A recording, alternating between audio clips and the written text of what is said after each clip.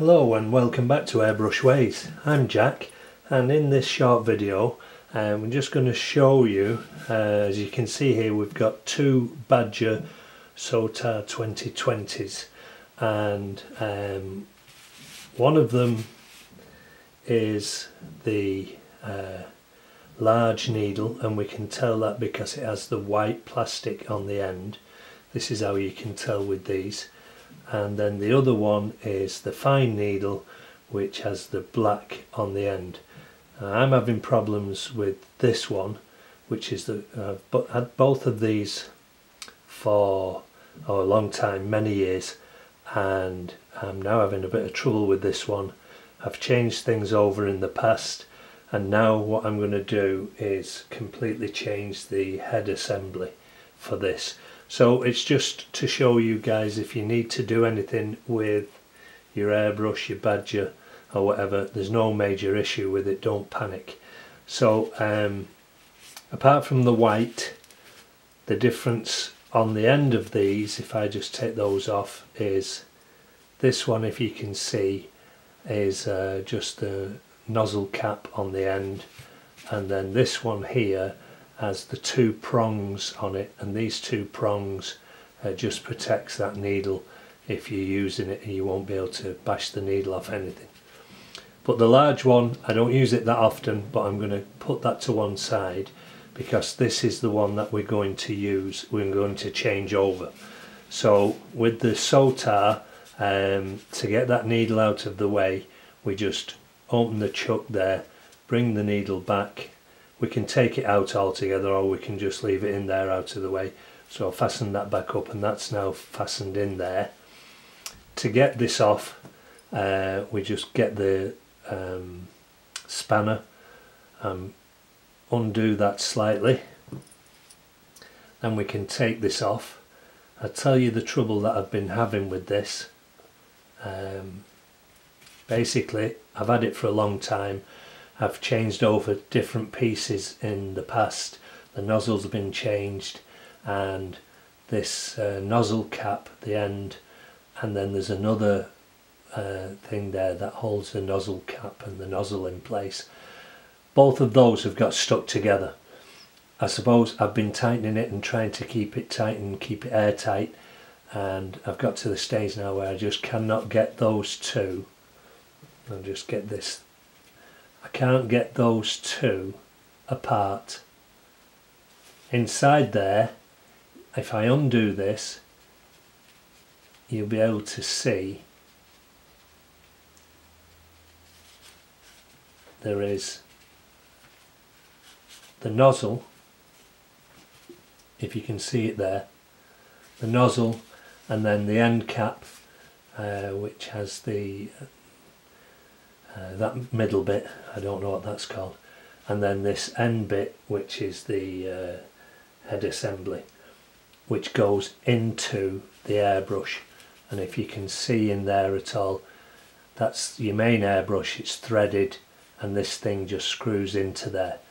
So because I've been having a lot of trouble with this uh, because those two are fastened together now and I just think if I try and do any more with that I'm going to break it. I'm going to cause damage.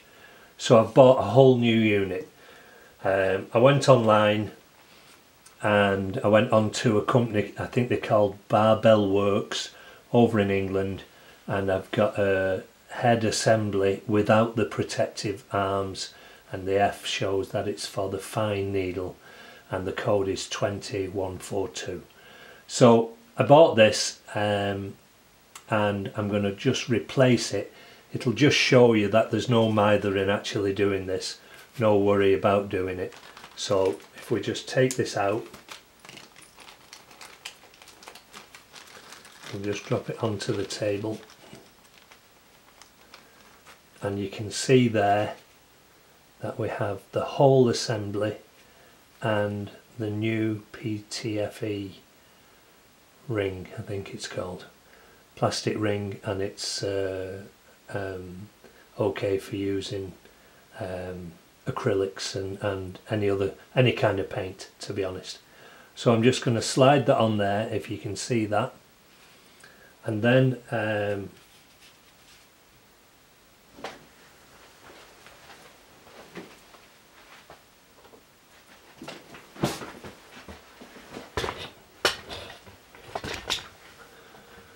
okay sorry about that camera movement.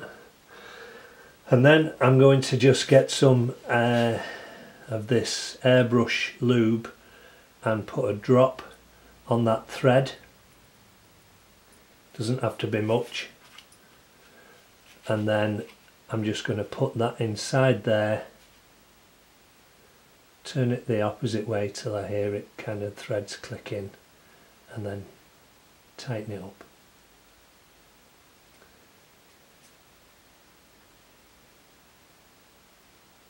once I've got that in place and finger tight I'm now just going to get the spanner ever so slightly.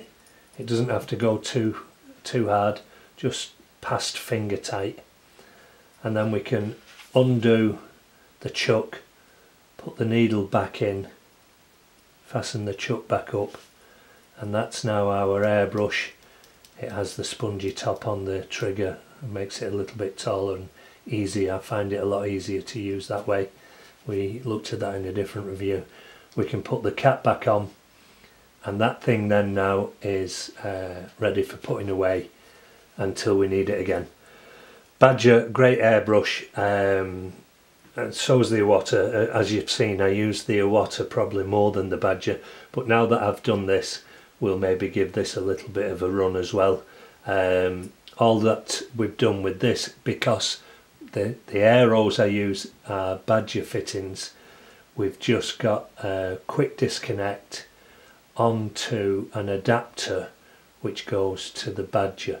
So we've got the Badger airbrush uh, the adapter which takes the Iwata quick disconnect and then that can go onto the air hose.